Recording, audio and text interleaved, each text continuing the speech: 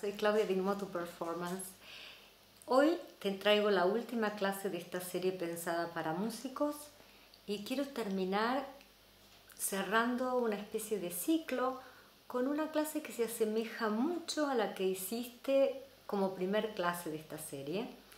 Esa clase era contra la pared, dibujando un círculo con tus manos. Esta clase es en el piso, con lo cual tiene otra dificultad, la dificultad de que estás eh, haciendo un círculo sobre el brazo de abajo y tienes tu peso encima, así que tienes que organizar tu columna, tus escápulas, tu cintura escapular, tu cabeza, para poder hacer este círculo con tu mano, digamos, que está contra el piso. Bueno, ya verás. Te dejo con la clase, disfrútala y quiero agradecerte por estar ahí. Yo he disfrutado muchísimo al preparar estas clases. Espero que a ti te sirvan y te sean útiles. Ahí vamos con el video. Tiende con el suelo sobre tu lado derecho. Flexiona tus rodillas formando 90 grados con el tronco, con el cuerpo y 90 grados entre las rodillas y los muslos. Coloca el brazo derecho debajo de tu cabeza y apóyala ahí. Esta vez no pongas cojines bajo tu cabeza. Y pon tu mano izquierda en el suelo delante de tu pecho para darte estabilidad. Y recuerda, recuerda la primera clase que hiciste de esta serie, en que describías círculos con tu brazo contra la pared. ¿La, la recuerdas? Por un momento imagínate cómo sería trasladar esa clase a esta posición sobre el suelo. Esta vez todo el peso de tu cuerpo está incidiendo sobre la movilidad del brazo que está debajo. Así que, ¿cómo sería trasladar esa clase a esta posición? Imagínate entonces que estás haciendo un círculo con tu brazo derecho, llevándolo hacia atrás, volviendo, pasando, en un momento pasando por la posición en la que estás ahora, debajo de tu cabeza, de ahí bajando, pasando hacia atrás, subiendo, ubicándose por debajo de tu cabeza, y volviendo a empezar. No hagas nada, solo imagínate. Ahora simplemente presta atención al brazo que tienes delante de tu pecho, el brazo izquierdo, y colócalo más o menos de forma que el hombro, el codo, el antebrazo estén en la misma línea. Así que apoya tu mano en el suelo de tal manera que permita que tu codo y tu hombro estén alineados. La mano izquierda apoyada en el suelo y fíjate qué posición de los dedos de tu mano te resulta más cómoda para poder estar ahí. Una vez que más o menos encuentres esa posición, empieza a deslizar el codo y el hombro izquierdo lejos de ti. Luego acerca hacia ti el codo y observa cómo el hombro va hacia atrás y tu homóplato se desliza por sobre las costillas en tu espalda.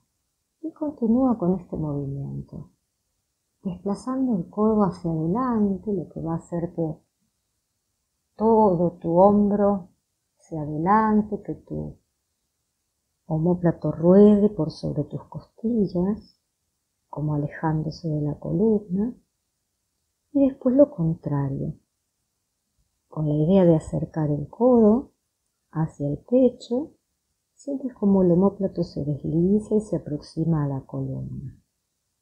Continúa con este movimiento y observa bien la posición de tu, de tu mano izquierda en el suelo, porque si está a la altura de tu ombligo, el movimiento va a ser un poco diferente. Trata de verdaderamente estar en la línea con el hombro.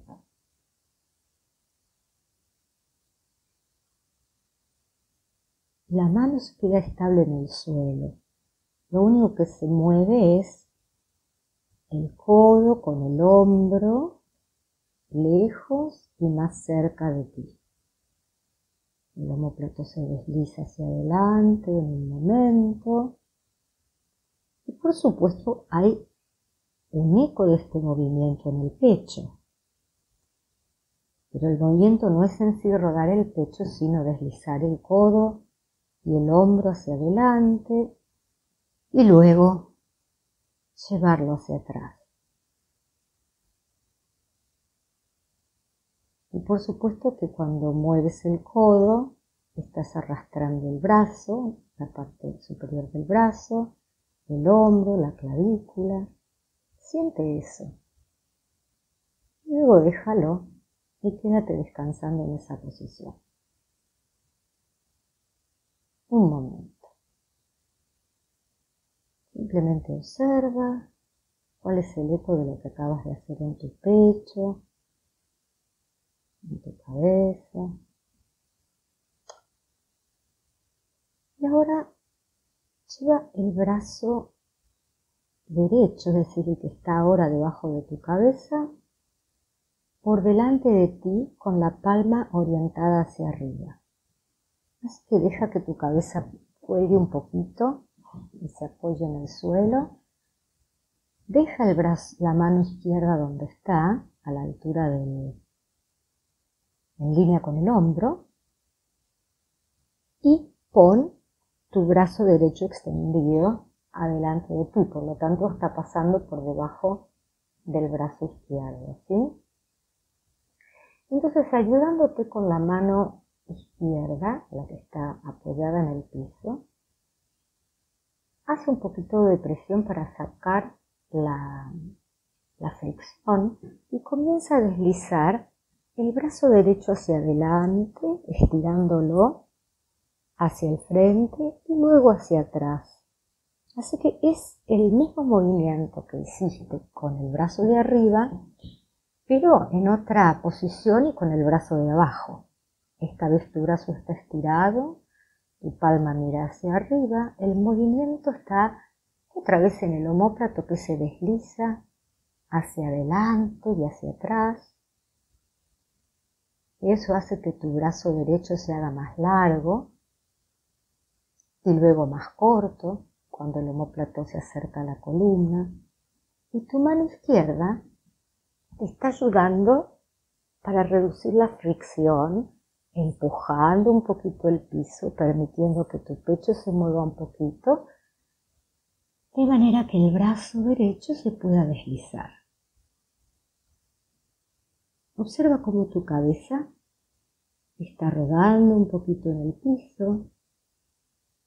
Observa también cómo tu pecho rueda un poco, yendo y para contribuir en el movimiento, pero el movimiento está centrado en tu brazo derecho, que se alarga y que se acorta y siente tu homóplato y siente tu espalda. La mano izquierda se apoya en el suelo, hace un poquito de presión para ayudar a facilitar el movimiento. Trata de descubrir cómo puedes hacer esto más fácil, más simple. Observa cómo estás haciendo el brazo que está en el suelo más largo y luego más corto. Es una cuestión de deslizar deslizar verdaderamente el brazo. Observa lo que pasa con tu pecho cuando estás deslizando hacia adelante. Observa lo que pasa con tu cabeza. Permite que pasen cosas. Permite que todo tu cuerpo se involucre para ayudar al movimiento de tu brazo. Vas con tu hombro hacia atrás, como si estuvieras dando marcha atrás con el auto y luego hacia adelante y tu brazo se estira y tu brazo se acorta.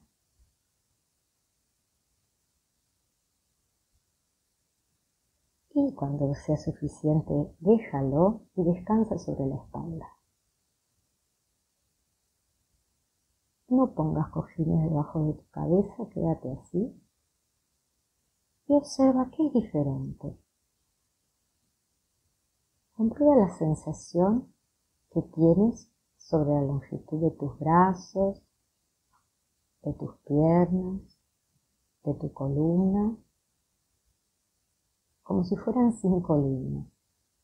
Una línea para tu cabeza y tu columna hasta el coxis, una para el brazo derecho, otra para la izquierda, otra para la pierna derecha, otra para la pierna izquierda.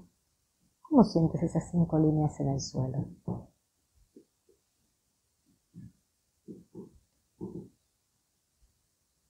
Y ahora vuelve a la misma posición, otra vez sobre tu lado derecho, con tus rodillas flexionadas a 90 grados, con tu mano izquierda apoyada frente al pecho, pero a la altura del hombro, haciendo línea entre el codo y el hombro.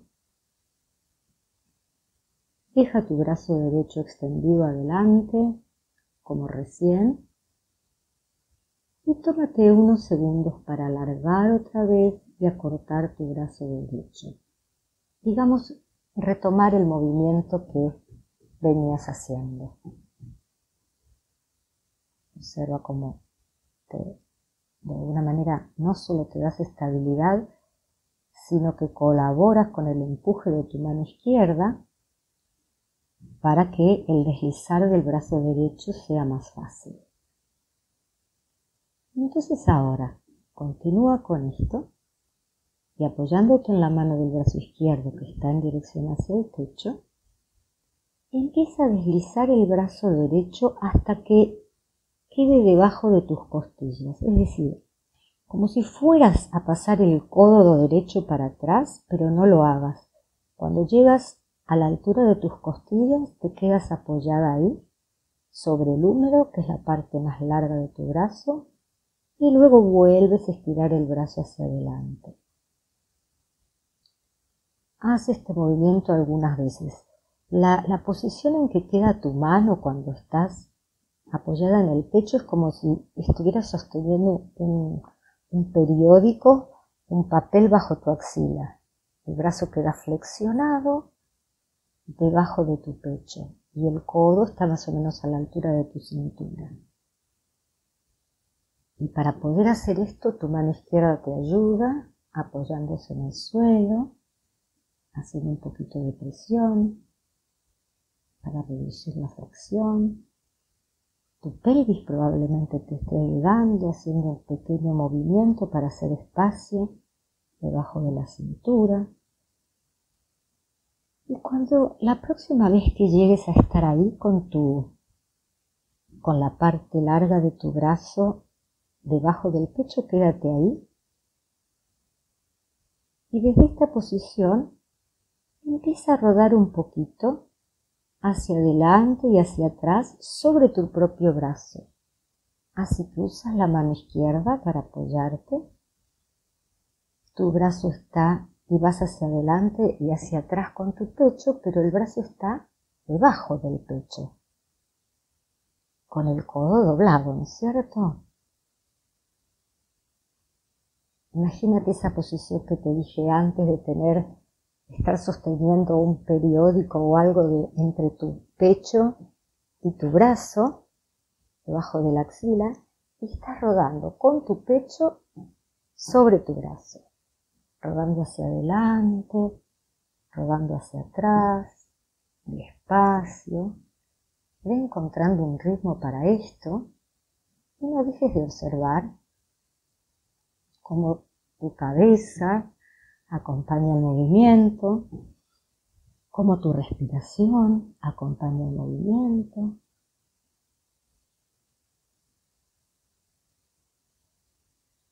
Y luego detente, quédate ahí. Y ahora, fíjate si a partir de ese rodar y de esa presión que puedes hacer con tu mano izquierda, puedes deslizar el codo más hacia atrás, hacia detrás de tus costillas, hasta que llegues a poner la palma de tu mano derecha debajo de las costillas. Y luego vuelves a estirar el brazo completamente delante de ti. Así que prueba dos o tres veces este movimiento. Te apoyas en la mano izquierda para reducir la, la fricción. Permites que tu pecho ruede un poquito según el brazo se está desplazando hacia atrás, tu codo derecho. En algún momento sientes que la palma de tu mano está contra tus costillas.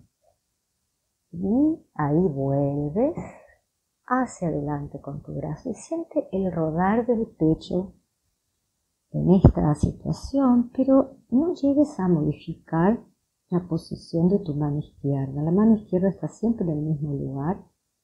Es a través de la presión que haces con tu mano, del rodamiento que haces con tu pecho y probablemente también de un movimiento que está haciendo tu pelvis, te está permitiendo que haya menos fricción y que sea fácil pasar tu codo hacia atrás y dejar la palma de tu mano bajo tus costillas.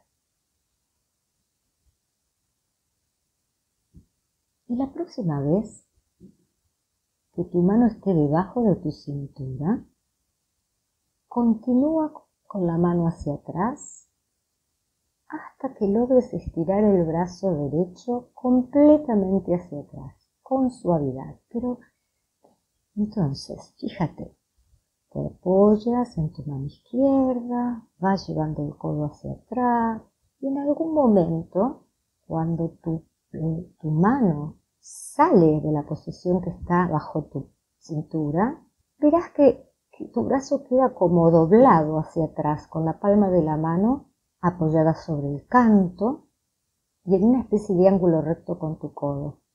Y a partir de ahí puedes estirar el codo y llegar a estirar todo el brazo. Y de ahí vuelves a doblar el codo, vuelves a usar tu pecho y tu mano izquierda para volver con tu mano hacia adelante y estirar otra vez todo el brazo hacia adelante. Permite que tu cabeza gire en este proceso y observa que en algún momento vas a estar mirando hacia el piso, hacia el suelo, y que en otro momento vas a estar mirando hacia adelante o hacia el techo. Y observa cómo la palma de la mano cambia espontáneamente la posición. Cuando estás con el brazo extendido hacia adelante, la palma de la mano mira hacia arriba, luego vas hacia atrás con, con tu brazo derecho, en un momento la mano que todavía tiene la palma mirando hacia arriba contacta con tus costillas. Y es en ese momento en el que sacas la mano de ahí abajo cuando espontáneamente cambia y empieza a apoyarse el dorso de tu mano. ¿Lo sientes? Y en ese momento, ¿dónde está tu cabeza?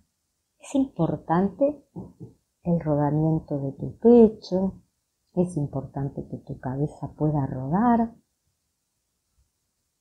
porque con tu cabeza rueda tu columna y rueda tu pecho. Así que cuando tu brazo está extendido hacia atrás, ¿a dónde está tu cabeza? ¿A dónde está tu pecho? ¿Cómo está la presión que estás haciendo con la mano izquierda? Y luego vuelve siempre desde quitar presión con ayuda de tu mano izquierda, vuelve hacia adelante. Y déjalo, descansa otra vez sobre tu espalda.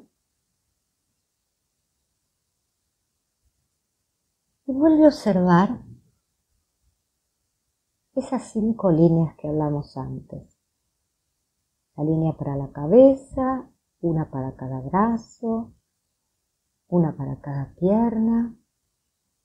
¿Qué línea percibes que es más diferente de las restantes?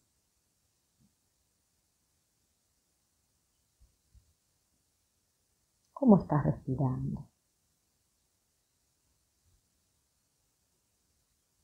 Vuelve a la misma posición. Otra vez sobre el costado, piernas a 90 grados, mano izquierda apoyada en el piso, el codo alineado con tu hombro izquierdo, el brazo derecho extendido hacia adelante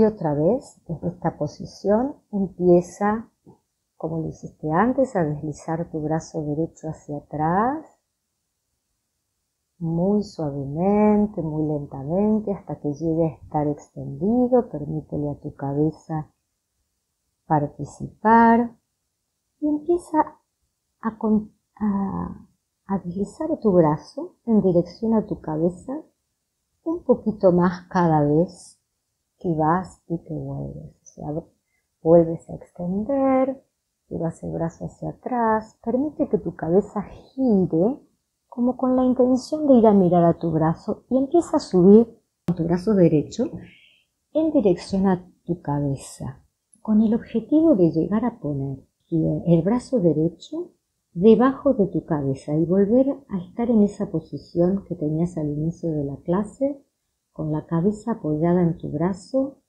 extendido por debajo. ¿Cómo puedes hacer este movimiento sin forzar tu brazo eh, derecho ni tu hombro. Para eso necesitas usar todo tu cuerpo. Ve de a poco, ve lento. Utiliza la mano izquierda que está apoyada en el suelo para apoyarte, para ayudar a que tu cabeza se eleve un poquito. Y trata de seguir tu brazo izquierdo con la mirada y observa cómo la parte superior del pecho y la cabeza se levantan un poquito para hacerle espacio a que tu brazo derecho se ubique bajo la cabeza. Y observa también cómo en un momento estás realmente rodando sobre tu pecho y en distintas direcciones, de manera que el pecho y la cadera, sobre todo las costillas, están tan flexibles para contribuir en este movimiento que sientes que van rodando un poquito hacia un lado, hacia el otro, mientras tu cabeza se eleva siguiendo con la mirada tu mano derecha. Y poco a poco encuentras que al apoyarte en tu mano izquierda y apoyarte en tus costillas, y al permitir que tu columna gire hacia un lado y hacia el otro y que tu cabeza se eleve, llega a ser fácil poner el brazo debajo de la oreja. Cuando llegues a ese punto, descansa un momento. Y entonces vuelve a apoyarte sobre tu mano izquierda a doblar tu codo y a bajar el brazo en la misma línea del pecho en dirección a tu cintura, vas con el codo, y de allí vuelves a sacar el codo por detrás, llevar eh, la mano otra vez hacia atrás y vuelves a extender el brazo y empiezas otra vez a ir en dirección de la cabeza, de manera que estás describiendo un círculo.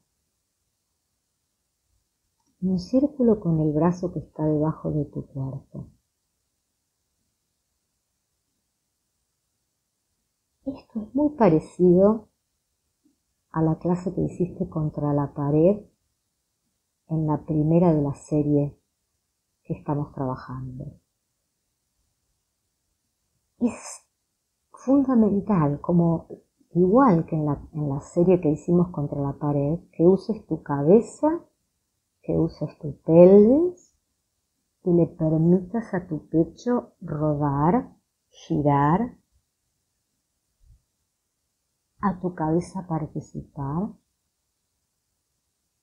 Trata de ir lento y suave hasta que puedas lograr hacer esto con mucha blandura, con mucha facilidad Si no lo logras hoy, bueno, no te preocupes. Llega con esta clase hasta donde puedas y la retomas, la retomas mañana desde donde la dejaste. Y verás que tu cuerpo, tu mente sobre todo, aprende y empieza a ir a tu cuerpo mejor y mejor y mejor. Prueba cambiar la dirección del círculo. Podrías hacer este círculo en las dos direcciones con la misma calidad, con el mismo placer. Intenta ir suave, intenta encontrar un ritmo como de balanceo en este movimiento. Permite todo el tiempo que tu cabeza esté flojita, que esté disponible, disponible para rodar, disponible para elevarse, que tu mano izquierda contribuya, dando estabilidad y ayudando a reducir el roce.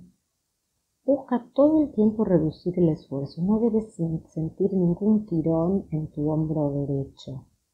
La idea es que encuentres realmente el momento de girar tu palma hacia arriba o hacia abajo, el momento ideal en que el brazo es capaz de rodar en su propia articulación, todo sin forzarte. Si sientes tirones, si sientes ruidos extraños en la articulación de tu hombro, no sigas. Quiere decir que estás haciendo esfuerzo. En el momento que sientes algo así, vuelve hacia atrás con el movimiento, como si fuera un movimiento que, que lo puedes volver, como, como cuando una película la vuelves hacia atrás y hacia adelante. Bueno, cuando estás haciendo el movimiento, si llegas a un punto donde empiezas a sentir un tirón o un esfuerzo, ahí te detienes y vuelves hacia atrás.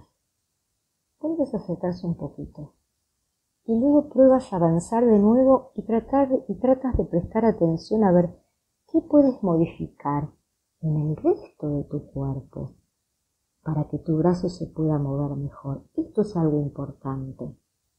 A veces el problema no está en el lugar donde sentimos la incomodidad, sino está en la organización del resto del cuerpo, del resto de los elementos que constituyen el movimiento. Y atención porque esto si eres músico es muy importante. A veces el lugar donde te equivocas no es el problema. A veces el problema es la coordinación de lo que viene antes de ese lugar. Y aquí es lo mismo. En este movimiento es lo mismo.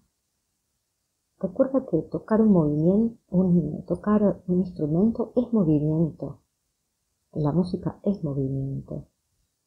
La produces a través de movimiento. Cuanto más sutil, cuanto más ordenados tus movimientos, cuanto mejor la ejecución. Esto es lo mismo. Aprovecha estos movimientos más grandes para darte cuenta de estas cosas, que luego te van a ayudar. Y prueba si quieres varias veces a invertir la dirección del círculo hacia un lado y hacia el otro. Y cuando lo tengas y para ti sea suficiente, descansas. Incluso si no has logrado completar la lección, no te preocupes. Las cosas quedan en la cabeza, quedan en el cerebro y van trabajando y vuelves en otro momento y seguramente podrás hacer toda la clase sin problema. Entonces acuéstate sobre tu espalda y descansa. Percibe el efecto secundario de la lección. Percibe esas cinco líneas otra vez y experimenta que cómo las sientes la línea para tu cabeza, cabeza coxis, hombro derecho, mano derecha, hombro izquierdo, mano izquierda, pierna derecha, pie derecho, pierna derecha, eh, pierna izquierda, pie izquierdo. Y ahora rueda suavemente hacia un lado siéntate primero y luego ponte de pie. Y cuando estés de pie no hagas nada. Simplemente deja que tus hombros estén donde quieran. Y date un momento para reconocer cómo estás, para volver a sentir esas cinco líneas en la posición de pie para notar las diferencias entre un lado y otro. Porque probablemente algo es diferente en el lado que trabajó sobre el piso y en el otro lado. Y probablemente tu posición al estar de pie es diferente porque un lado es diferente que el otro.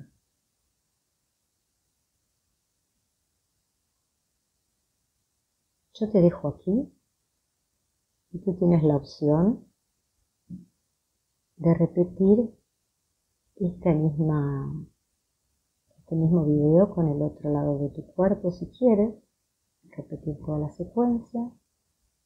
También tienes la opción de quedarte con las diferencias y experimentar las diferencias y mañana, por ejemplo, hacer la lección del otro lado. Eso puede ser muy interesante como modo de aprendizaje. Te dejo aquí y con, y con esta lección termino la serie para músicos. Espero que te haya sido útil Escríbeme si quieres. Eh, utiliza el canal, suscríbete, escríbeme. Estoy dispuesta a contestar dudas y todo lo que necesites. Hasta muy pronto.